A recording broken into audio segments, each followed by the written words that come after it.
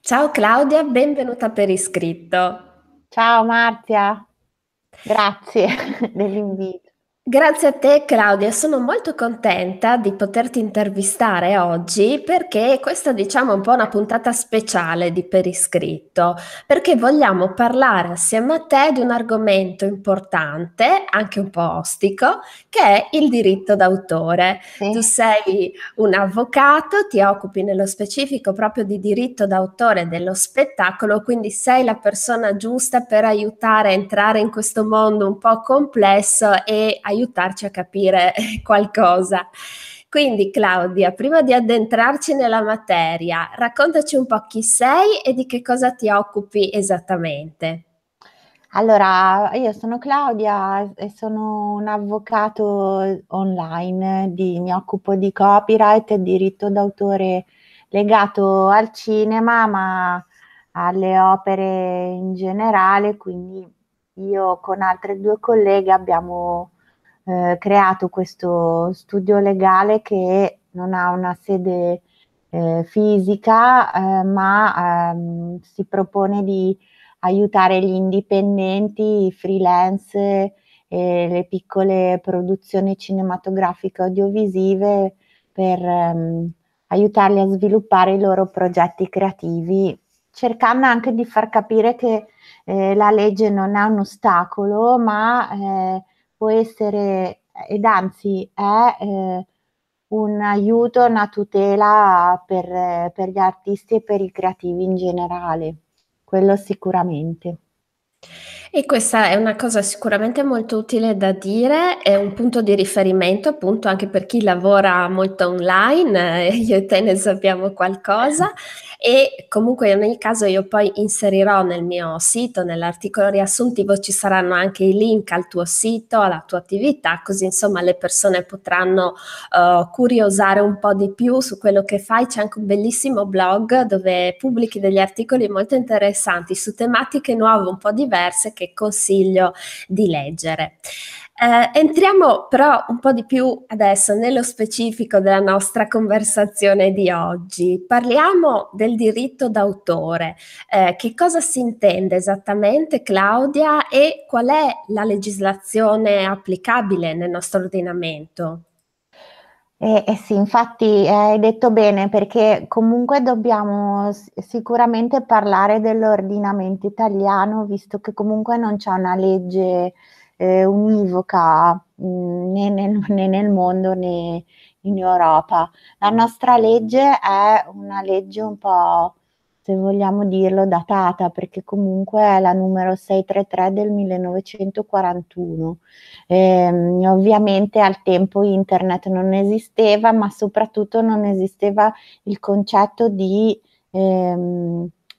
di dematerializzazione dell'opera come quella eh, eh, che come l'opera che sta online, per cui c'erano i libri, eh, quindi c'era il supporto cartaceo, eh, c'erano i film, anche, anche, anche, quelli su supporto eh, eh, della, della, pellicola. E quindi in pratica c'era sempre qualcosa di tangibile, mentre oggi effettivamente viviamo in quella che è chiamata una società liquida dove in pratica non c'è più questo supporto fisico che rendeva anche molto più facile la tutela dell'opera che comunque chiaramente eh, poteva essere toccata e, e, e, aveva anche più ed era un oggetto materiale e che si poteva tutelare. E, ehm, quindi niente, la legge diciamo è, è datata, però eh, chiaramente ci sono state delle integrazioni e, e delle, eh, sì, delle integrazioni direi alla, alla legge stessa e a, ad oggi quindi noi adottiamo comunque, eh, cerchiamo così di integrare quella, quella che ha comunque una, una regolamentazione che appartiene al passato. E sicuramente il fatto che oggi viviamo molto online, ehm, altera un po' la percezione delle cose, no, anche perché sembra quasi che tutto quello che è online, ehm, sia libero, no, sembra quasi che tutti ne possiamo fare l'uso che vogliamo, mentre in realtà non è assolutamente così, si rischia di commettere degli errori, ehm, importanti, anche di andare incontro a delle conseguenze specifiche. Ehm, quando parliamo però, ehm, di per iscritto è automatica l'associazione con i libri, ehm, li hai citati tu, ehm, poco tempo fa, e i libri che sono uno strumento importantissimo di divulgazione della conoscenza e, ehm, sono sicura che i miei ascoltatori saranno interessati, ehm, a cercare di capire insomma qualche cosa di più in merito al discorso del diritto d'autore, che quando parliamo di libri diciamo che si prospettano davanti a noi due situazioni diverse. Da un lato eh, c'è la tutela del proprio diritto da parte dell'autore che ha scritto e pubblicato il libro e vuole tutelarsi giustamente, dall'altro abbiamo un po' il rapporto controverso direi, perché anche questo mi viene riportato molto spesso dalle persone con le case editrici, quindi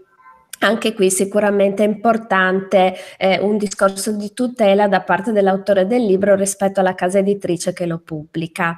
Eh, in queste due situazioni che ho evidenziato, Claudia, tu che cosa puoi dirci nello specifico e soprattutto come fare per tutelarsi? Allora, intanto come ti dicevo prima, l'avvento di internet ha cambiato radicalmente quella che è la percezione sia del bene, quindi dell'opera materiale, ma sia anche del, dell'autore, che eh, non è più il, il tipico che ehm, per pubblicare un libro aveva bisogno di una casa editrice. Quindi, oltre ad essere cambiato l'oggetto materiale dell'opera in sé, è cambiato anche il rapporto eh, che le persone o comunque gli autori, gli artisti hanno ehm, rispetto a quelli, a quelli che erano gli intermediari, eh, per cui parliamo appunto delle case editrici, delle case discografiche, che con l'avvento di internet so, si sono dovute rivoluzionare, ma eh, che per molti versi eh, sono inutili in pratica. E, ehm, quindi eh, tu dicevi sì, il libro ehm, è rimasto così come eh, supporto cartaceo, ma effettivamente ci sono anche nuovi modi per eh, pubblicare libri, come per esempio, ecco, mi riferisco agli ebook, eh, per dire che sono a- altri alt- un'altra possibilità per comunque pubblicare invece che in forma cartacea. E, ehm, mh, tutti, tu, tutti i, i diritti ehm, riguardanti queste opere sono regolati da contratti, per cui in pratica tutte le volte che eh, si pubblica qualcosa e per pubblicare intendo anche postarlo online, quindi ovviamente tutte le volte che si rende pubblico si mette online qualcosa e quello per me, anzi no, non per me, ma per la legge è proprio una pubblicazione, quindi non solo attraverso la casa editrice, ma tu stesso, cioè se ormai vai su internet, puoi comunque postare quello che vuoi tu, insomma, che sia un libro, che sia un post, che sia uno scritto, un PDF, quello comunque è eh, considerata come una pubblicazione perché rendere pubblico qualcosa di tuo. E ehm, quindi dicevo, tu, tutte queste, ehm, tutti questi nuovi modi di rendere pubblico un'opera sono regolati da contratti, per cui eh, come si tutela l'autore? Eh, deve stare bene attento a leggere quello che c'è scritto nel suo contratto di, pubblicazione, quindi eh, nel caso in cui davanti abbia una casa editrice deve comunque eh, capire bene quali sono i diritti, ma i suoi diritti e soprattutto gli obblighi eh, della casa editrice, perché ormai eh, comunque questi contratti sono vissuti un po' come contratti unilaterali del tipo o li accetti eh, o niente, non pubblichiamo il tuo libro, per cui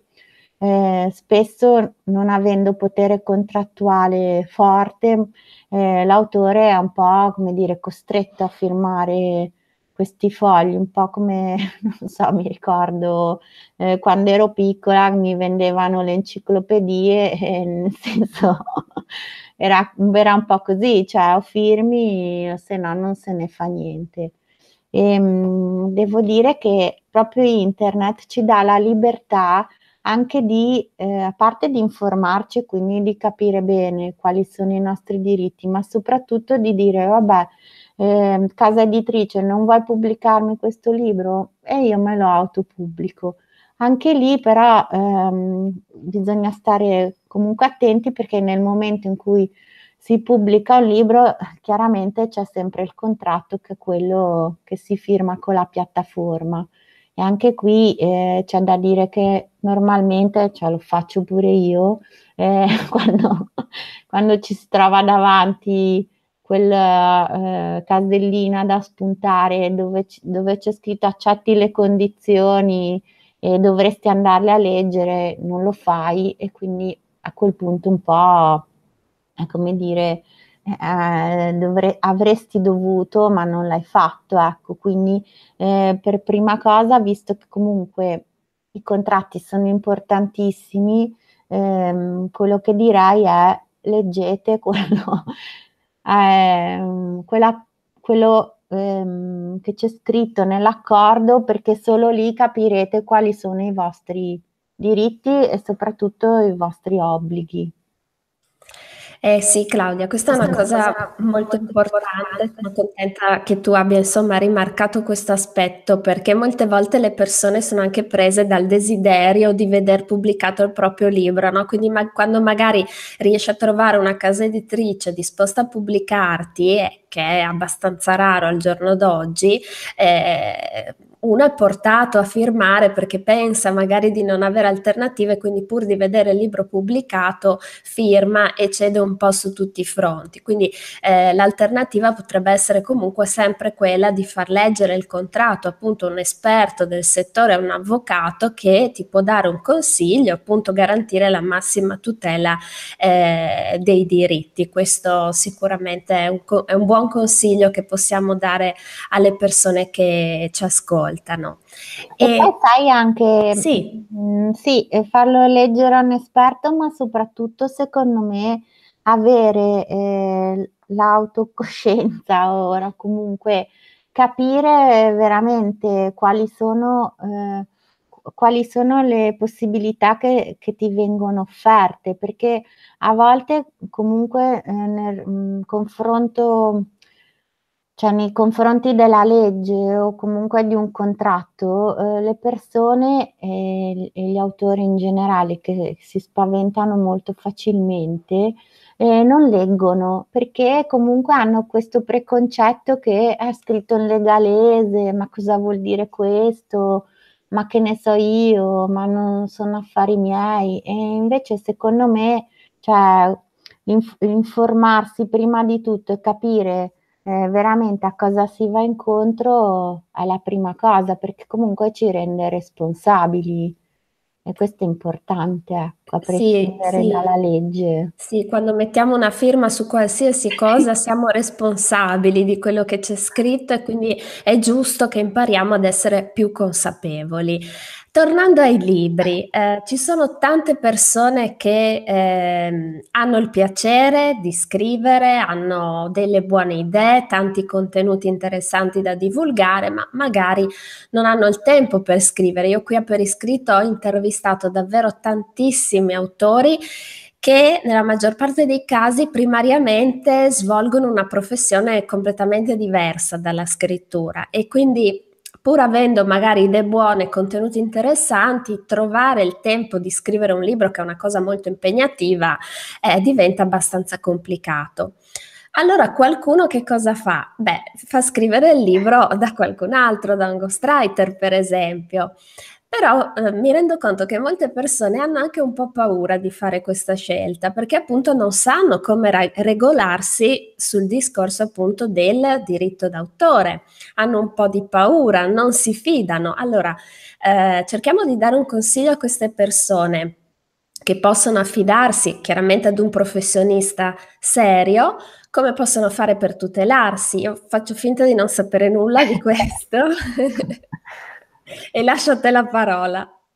Ehm, ecco, questa è veramente una domanda, direi difficile, perché il ghostwriter è comunque un autore, per cui eh, in Italia, come in tutti i paesi regolati eh, dalle leggi, ora vabbè, faccio una piccola digressione, nel senso che in Italia vige quello che si chiama civil law, per cui mh, il centro di tutto è la persona e l'autore che ha dei diritti che sono i diritti morali, che sono diritti imprescrittibili, quindi il diritto ad essere riconosciuto come autore dell'opera è un diritto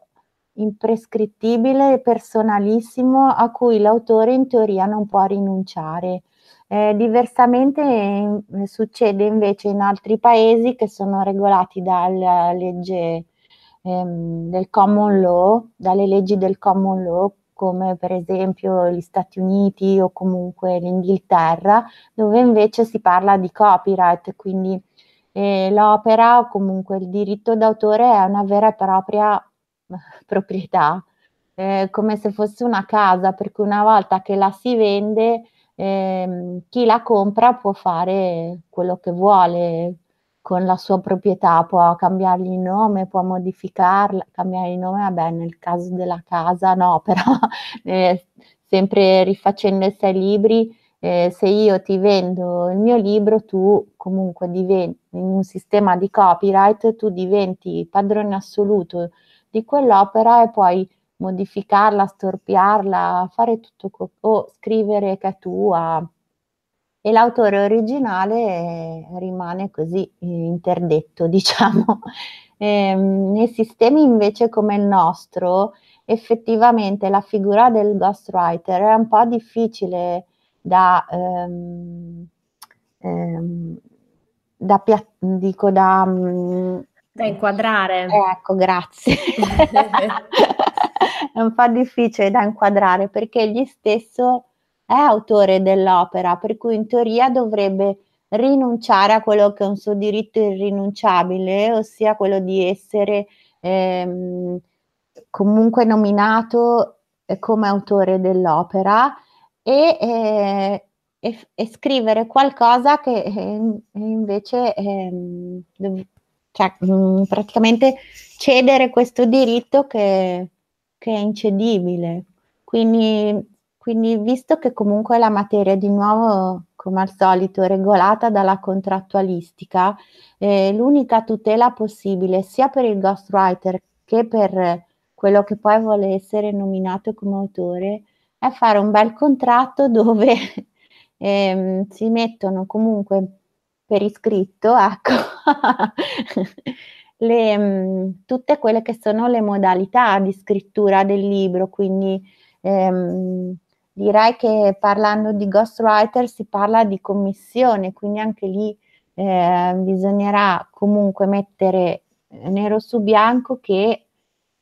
colui che eh, ha scritto il libro è comunque stato commissionato alla scrittura e che eh, in qualche modo non rinuncia perché ehm, non si può, però eh, è d'accordo sul fatto che il, il libro venga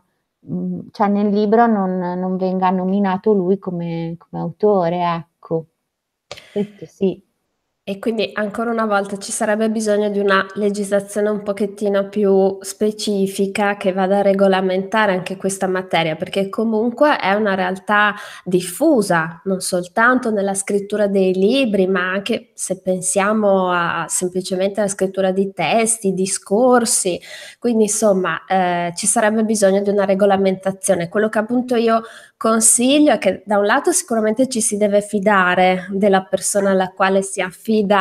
il proprio libro. E poi sicuramente un ghostwriter professionale fa sempre firmare un contratto che appunto come dicevi tu un discorso di tutela reciproca perché è giusto che anche insomma il, il ghostwriter alla fine eh, venga, venga tutelato. Sì, tra l'altro il ghostwriter deve essere tutelato e soprattutto retribuito perché comunque sta facendo un lavoro, quindi nel momento in cui gli si commissiona un lavoro si eh, redigerà un contratto di commissione nel quale si metterà, eh, nel, ben, cioè si farà ben presente che eh, chi ti commissiona il lavoro poi eh, chiaramente può, eh, può ehm, darti quello che è il tuo titolo di eh, scrittore, ma diciamo ghostwriter no, però ehm, aiuto alla scrittura, collaboratore, insomma. Certo, sì. E Claudia, quando parliamo invece di libri tecnici, eh, di manuali, di in generale divulgazione del sapere, diciamo così, dove è molto frequente citazione di opere altrui ed è fondamentale in questo caso riconoscere la paternità all'autore di un libro, di una citazione, di una teoria, eccetera, senza appropriarsene eh, ingiustamente. E come ci regoliamo quindi rispetto sempre ad un libro eh, con la citazione delle fonti, con la bibliografia, cioè cosa dobbiamo eh, scrivere? E poi c'era un'altra cosa che mi interessava chiederti, eh, capita di eh, riportare delle parti di libri, eh, lo si può fare e in che misura? Tutte le volte che eh, si discute o comunque si critica o, o, si, o, o, si, fa ricerca, si possono sicuramente eh, citare altre fonti riportandole nelle virgolette e comunque, eh, come hai detto tu, citando quello che è l'autore dell'opera originaria che si intende criticare ed è comunque previsto dalla legge per cui mh, mm, a, mh, mm, non c'è diciamo nessun eh, divieto di eh, riportare eh, la, ehm, cioè, la lunghezza della citazione eh, non è importante nel momento in cui ci serve comunque per criticare o discutere su qualche su qualche testo quindi a fini di ricerca, di discussione e di critica si può comunque fare come si vuole, sempre tenendo presente che nel momento in cui si cita si devono mettere le virgolette e riportare poi quello che è il testo originario che abbiamo in, in un certo senso copiato, trasfuso nella nostra opera, però ehm, qui vengono comunque ehm, eh, ci sono altri diritti oltre quello d'autore che sono appunto i diritti del, della libertà di informazione, di cronaca, comunque di discussione, che sono diritti costituzionalmente garantiti, anche la libertà di espressione, per cui nel momento in cui di nuovo cioè, ehm, non si va contro quelli che sono i diritti altrui e quindi magari gli si copia gli si, o non si mettono le virgolette, si dice che quel pezzo di opera è tuo, e qua di nuovo c'è una lesione di quello che è il diritto morale dell'autore, eh, se comunque si agisce in maniera lecita mh, mm, si può fare come si vuole, ecco. Certo, l'importante è comunque citare la fonte. Questo è un esatto. consiglio che do anche alle persone che scelgono magari di lavorare assieme a me, no? Quando prepariamo il nostro libro e consumiamo, è giusto, auspicabile che sia anche altri materiali, prendiamo sempre nota delle fonti, da dove proviene quel materiale, perché poi molte volte quando ci mettiamo lì a scrivere, la nostra mente funziona per conto suo e magari inconsapevolmente, senza cattiva intenzione, può essere che scriviamo un qualcosa che è frutto dell'opera, del lavoro, dell'ingegno, come nostro, quindi questo eh, non va bene, quindi anche un modo per, per, tutelare se stessi e per evitare di andare incontro a situazioni spiacevoli. Perché se il nostro diritto d'autore viene violato, beh, eh, è una cosa piuttosto grave e quindi se c'è qualcuno che mi copia, che utilizza parti del mio testo senza citarmi come autore, quali strumenti ci offre la legge per tutelarci? Qual è proprio Claudia il procedimento da seguire? Allora, prima di tutto, dal punto di vista legale, la prima cosa che devi fare è comunicare con il tizio che pensi che ti abbia copiato. E, mh, e dal punto di vista, e questo diciamo in legalese si chiama diffida, cioè comunque devi inviare una diffida che non è altro che una lettera scritta da un avvocato dove comunque si mettono eh, bene in rilievo quelle che sono le richieste eh, dell'autore dell'opera e mh, mm, si portano così ad evidenza quelli che sono comunque i documenti o le prove del fatto che eh, la controparte ti abbia in qualche modo eh, provocato un danno non, o non ti abbia citato come, come autore della tua opera. Ehm, devo dire che prima di arrivare alla, all'invio di una diffida, che comunque, ti ripeto, un atto, una lettera, magari prodromica, a poi a quella che sarà eh, una causa se eh, ci saranno i presupposti. Comunque, prima di arrivare a questo, quello che consiglio io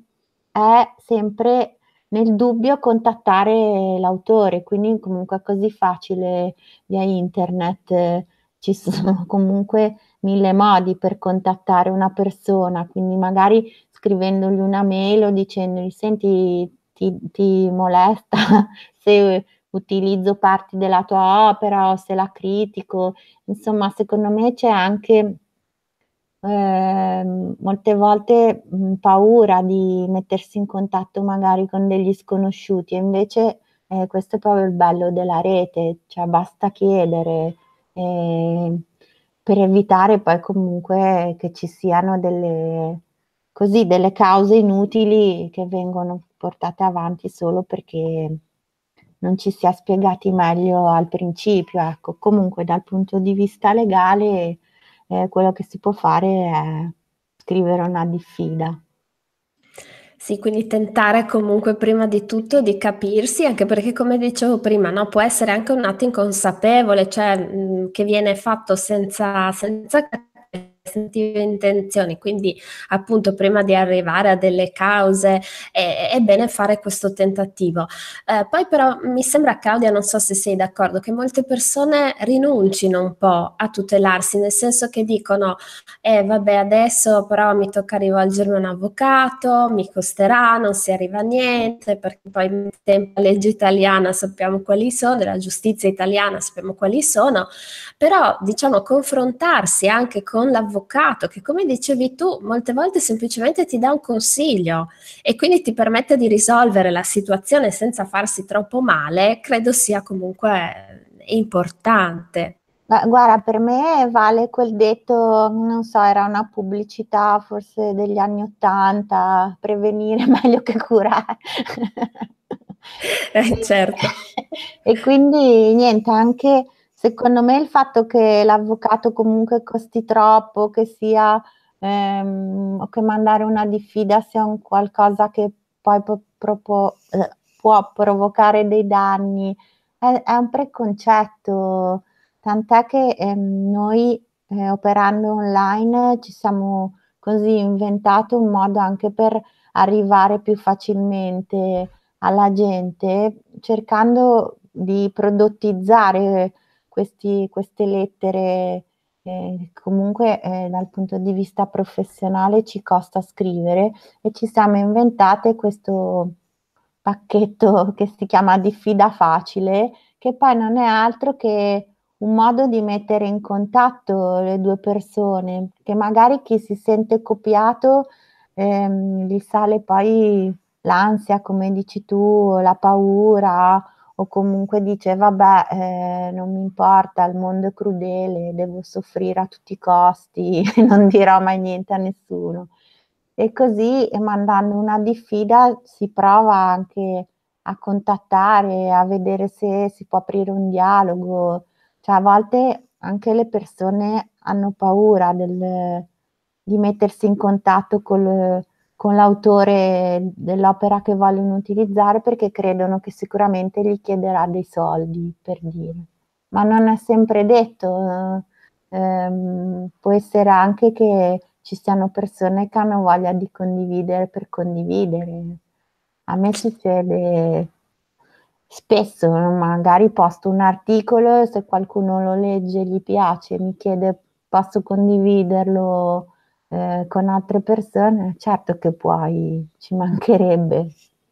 Sì, poi magari da quella che inizialmente sembra una situazione difficile, di conflitto, possono nascere anche delle cose belle, perché no? Magari anche delle collaborazioni, se si parla di materie che comunque in qualche modo sono, sono affini. Quindi sono d'accordo con te, tanti pregiudizi da spazzar via, come esistono tanti pregiudizi sul publishing che eh, citavi tu all'inizio, che viene un po' considerato come una forma di pubblicazione di serie B, una seconda scelta, il libro self-publishing è un libro di qualità inferiore, insomma ne sento veramente tantissime, anche qui c'è tanto lavoro da fare per appunto spazzarli via questi pregiudizi, far capire alle persone che se io credo profondamente in quello che ho scritto e voglia di condividerlo, molte volte eh, posso arrivarci anche senza eh, il supporto di una casa editrice. Sicuramente non è facile perché qui l'autore del libro, oltre a scriverlo, che non è cosa semplice, deve pensare a tutta scrittura del libro, come la chiamo io, quindi anche eh, revisione, impaginazione, pubblicazione, la promozione soprattutto. Però se tutto questo viene fatto bene e proprio sostenuto da un, una, un desiderio vero, autentico di condividere, allora il self-publishing diventa una risorsa. C'è Claudia qualche consiglio che vuoi dare quindi a chi il libro decide di autopubblicarselo in materia di tutela del diritto d'autore? Ehm, io eh, forse il consiglio che darei è mh, mm, sia legale ma soprattutto di avere fiducia nelle proprie capacità e nel momento in cui si ha qualche timore o comunque ehm, si, ha, si, ha, paura di ledere i diritti di qualcuno, sì, eh, magari chiedere un consiglio a un avvocato, a un professionista, ehm, vedere come si comportano gli altri, insomma, eh, capire un po' come funziona il mondo del online e eh, comunque avere un riscontro anche con il mondo reale, quindi ehm, capire bene quali, quali, meccanismi mettere in atto e soprattutto eh, quello che penso è capire quali sono i propri diritti e, ehm, e non lasciarli andare per niente, ecco. E mi sembra un ottimo consiglio. Senti Claudia, un'ultima domanda prima di salutarci. Eh, quando invece decidiamo, vogliamo tentare il canale dell'editoria tradizionale. Non è facile trovare una casa editrice disposta a pubblicare, questo eh, lo sappiamo, ma ehm, un consiglio che io do spesso alle persone è eh, di non aspettare magari di arrivare al termine della scrittura del libro prima di proporsi alle case editrici. Innanzitutto di individuare quelle che eh, si occupano nello specifico del, del genere di libro che noi andiamo a scrivere, perché anche questo è importante, quindi fare una scrematura. Ma poi quando abbiamo già scritto due o tre capitoli, preparare un abstract e inviarlo alle case editrici selezionate. Quindi solitamente nell'abstract ci metteremo una nostra autobiografia, eh, scriveremo qualcosa di noi, eh, poi eh, una sinossi eh, del, del, nostro libro, l'indice e uno o due capitoli di prova. Mm, per tutelarci anche qui, perché eh, questo è un materiale inedito, quindi eh, lo andiamo a mandare alle case editrici, magari abbiamo paura di trovare qualche persona non molto onesta. Diciamo così. C'è qualche dicitura in particolare che noi possiamo inserire nel nostro abstract per essere tutelati?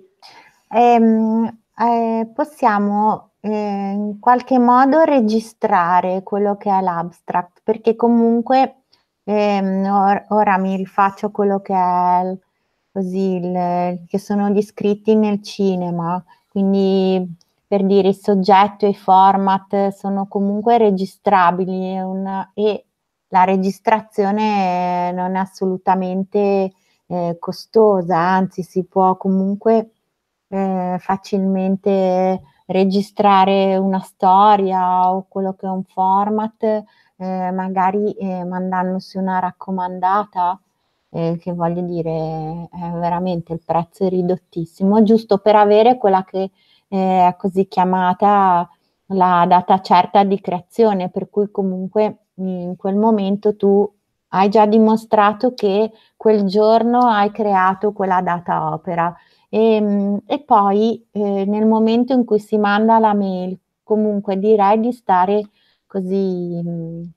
attenti a quello che si scrive, in modo da tenere sempre, ehm, documentato il giorno in cui si è mandato il questo soggetto, diciamo, questo abstract in giro, ehm, chi l'ha letto, uhm, come è stato let cioè da chi è stato letto, ehm, per che finalità è stato mandato, in modo così da creare, c diciamo senza farsene accorgere, ehm, quello che è un accordo, diciamo, di segretezza tra le parti e da rendere sempre documentabile le mhmm, quello che è stato fatto con con il con la tua opera, che chiaramente è uno scheletro, quindi non si potrà mai dire, ehm, o dimostrare in maniera certa che è stata copiata, però se intanto si hanno i vari passaggi o comunque, mhmm, si sa da chi è stata letta e da chi non è stata letta, ehm, si può provare più facilmente che poi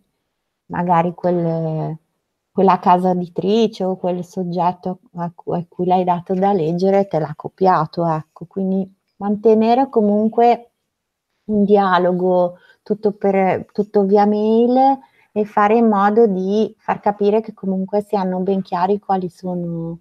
i propri diritti e magari, ehm, ecco, scriverei, ehm, state attenti comunque che quest'opera è registrata in questo tal modo e che se la divulgate incorrerete in sanzioni,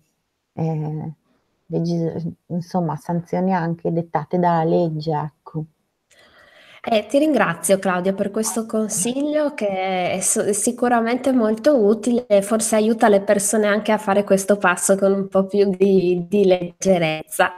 Claudia, siamo arrivati alla conclusione di questa intervista. Io ti ringrazio veramente di cuore perché hai dato un contributo proprio prezioso e di valore e sono sicura che i nostri ascoltatori saranno rimasti molto soddisfatti anche perché in fondo,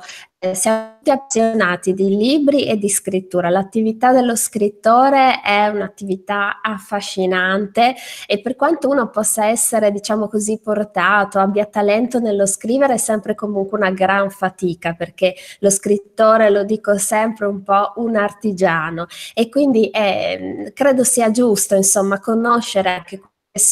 i diritti di chi scrive e soprattutto come potersi tutelare. Quindi ti ringrazio davvero di cuore per il tuo contributo. Eh, grazie a te.